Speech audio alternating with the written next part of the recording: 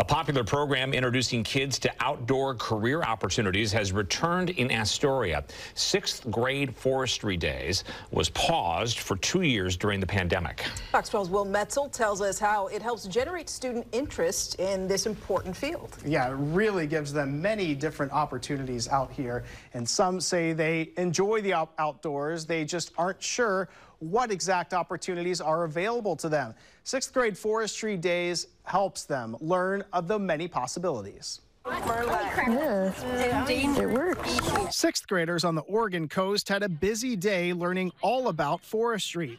One of those taking part in the interactive lessons was Astoria Middle School sixth grader Lars Owen Krasenik.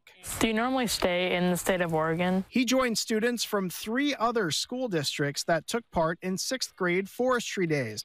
He says he was especially looking forward to it since it's something he already enjoys. Kind of just learning about the forest because I think I think like nature is pretty interesting. He got to ask questions about many different parts of forestry. Brad Catton with the Oregon Department of Forestry says that is part of the goal. I did it! I did it twice. Second time. Just so they have that in the back of their heads when education opportunities in the natural resource sector come up.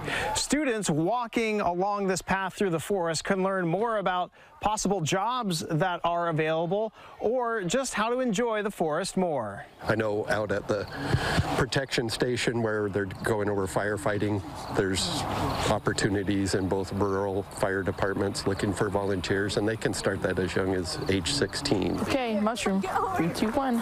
Catherine Olson told students all about different products made from wood. She says getting some students into jobs making these products is a goal. It's a very diverse field, you know, technology, wood products, um, tree growing, uh, a lot of different avenues that one could take. Now, when the program first resumed after COVID last year, there were around 200 students. This year, that number almost doubled to just under 400 with the addition of two other school districts. Will Metzel, Fox 12 Oregon.